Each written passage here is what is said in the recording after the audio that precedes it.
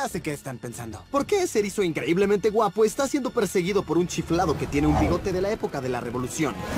Pues francamente, siento que he estado corriendo toda mi vida. ¿Sí me entienden?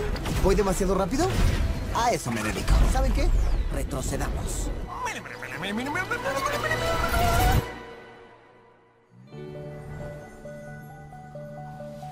Esta es la isla de donde vengo. Tenía de todo. Cascadas, playas de arena fina, acceso público a giros completos. Y nunca tuve que tomar el autobús escolar porque podía cruzar corriendo toda la isla en menos de dos segundos. Además, no había escuela. Lo sé, qué maravilla de isla, ¿no? Nací con poderes extraordinarios. Me dijeron que los mantuviera en secreto y, como cualquier niño, hice exactamente lo contrario. Ella es garra larga. Me cuidaba. Era como mi Obi-Wan Kenobi. Si Obi-Wan hubiera tenido pico y comido ratones. Sonic, alguien te pudo haber visto.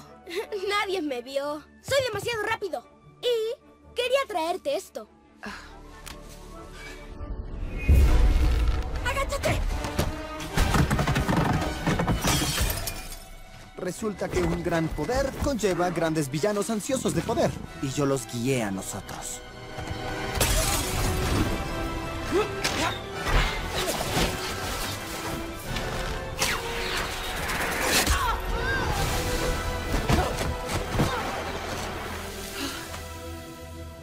Escucha bien, Sonic.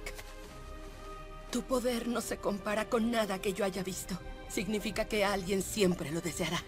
La única forma de estar a salvo es permanecer oculto. Ese mundo está en un extremo lejano del universo. Estarás a salvo ahí. No quiero irme sin ti. Debes hacerlo. Estos anillos serán tu posesión más preciada. Si algún día te descubren, usa uno.